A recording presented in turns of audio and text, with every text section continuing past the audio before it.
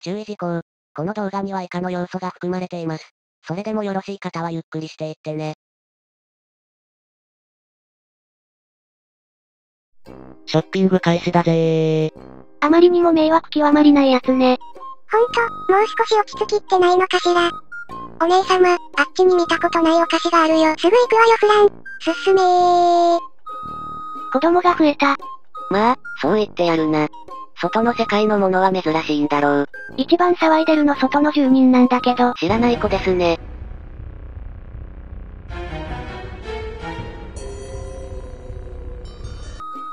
ていうか、サナエもホムラもいないじゃない。サナエはレミリアたちのおもりに、ホムラは人を借りに出かけました。何それ日本昔話の一つで、竹取太郎。外の世界には変なのもあるのね。そうだな。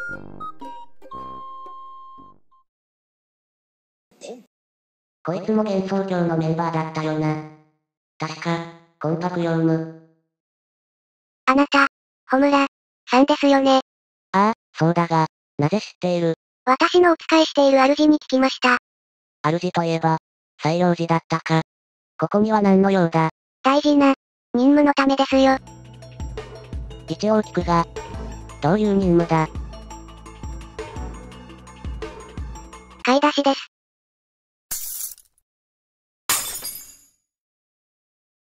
聞き間違いだ。そうに違いない。もう一度聞くぞ。買い出しです。聞き間違いじゃなかったか。お前に敵対の意思はないんだな。わ、私がホムラさん。ホムラさんたちに敵対なんてしませんよ。あっても、ゆゆこ様に言われない限りはありません。そうか。ならもう関わりはしない。あの、その、よろしければ、買い物のお手伝いをお願いしてもよろしいですか？特にやることもないし。まあ、いいか。いいぞ。ありがとうございます。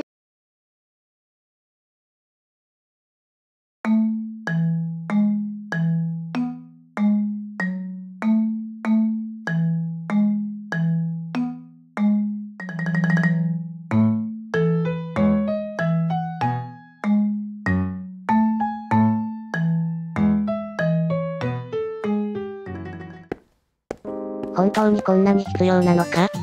私だけならともかく、ゆゆこ様のことを考えると少ないですよ。確かに、あいつなら一日でなくなりそうだな。あはは。え、ホムラさん、今、なんて？だから、ゆゆこなら一日。なんでホムラさんが知ってるんですか？いや、ゆかりに渡された資料で読んだだけだ。そう、ですか？そろそろ私は帰りますね。ああ、そうか。行ける場所まで持っていくよ。ありがとうございます。そうだ。ゆかりからの資料で読んだに違いない。じゃなきゃ。俺のこの記憶は一体何だって言うんだ。4日間の休息を経て心身ともに休まったでしょう。そこで聞きたいことがあるわ。今回の任務はわかってるかしら特に、港、レミリア、私たちはアマゾンの奥地に来ました。話聞け。今回のメンバーはまた随分変わったな。俺、レイムにレミリア、フラン、港。それに、ブンブン丸あや、ブンブン丸は新聞の名前ですよ。私は社名丸と言います。マリサメ、しょうもない嘘つきやがって。今回は幻想郷の危ない妖怪どもを送還しに来たのよ。って言っても、実質危ないのは一匹だけ。一匹にこんな人数いるか？普通なら私一人で余裕よ。普通ならね、どういう妖怪なんだ？通称食いバラ。何でも食べる妖怪よ。採用時みたいね。もっと立ちが悪いわよ。食いバラは本当に何でも食べるの。生物だろうが、無機物だろうが。それこそ、弾幕だろうが。ね。過去の文献では、物に宿る神様であるつくも神すらも食べたわ。神様食うと書かれてるな。だから霊力や揚力が膨大で長期戦が可能な。私やレミリアが来たってわけよ。俺が連れてこられた意味は？おとりじゃない。おとりかと、前菜。とか、立役、お前らには人の心とかないんか？私、吸血鬼だし、私も天狗ですもん。まずお前を人間だと思ってない。なんだこいつら。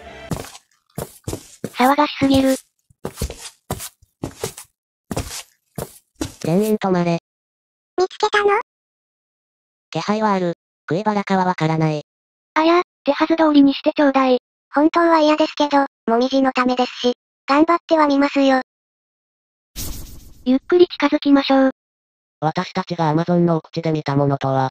ていうかなんで監視カメラなんて持ってんだ。さっきそこら辺で拾った。いらんから捨てろ。そうでもないぞ。良いもの拾ってきたな。港。だろう、さすが俺ってと。こ。うわせい。3日ぶりだな。全員、椿じゃない。なんでここにいるのよ。単独で潜入してたんだよ。ショッピングモール以来な。だからって後ろに立つんじゃねえよ。あんまりにもお前らがうるさくてな。騒がしいのは港だけよ。いや、そんなこと。確かに騒いでるの俺だけだな。とりあえずついてこい。食い腹のとこまで案内してやる。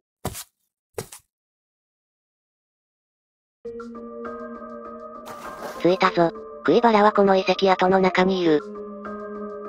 今はいませんとかオチはやめてくれよ。安心しろ。あいつはずっとここにいるんだ。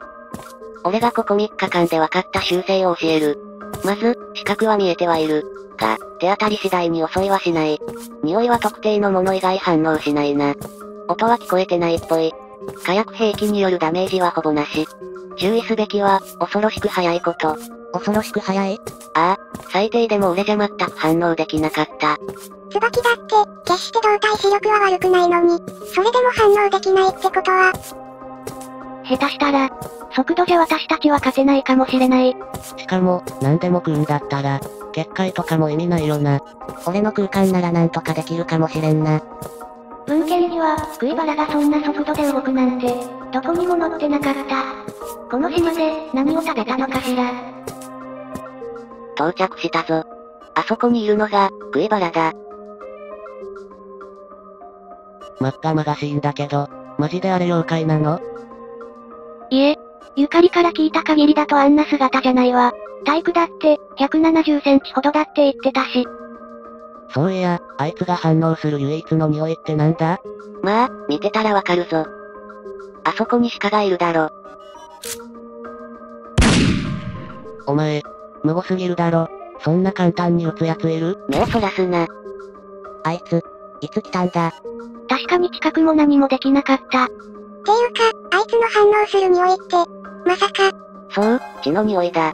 ちなみに鍵取る範囲は確認しただけでも、半径200メートルは超えてる。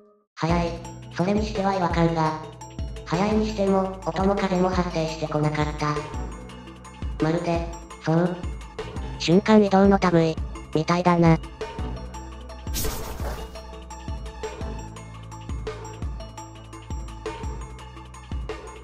あなた、同じ匂いがする。ね。同じ、だと。それはどういう意味？ああ？本当に。美味しそう。次回、現代文教、第7節。血統一族、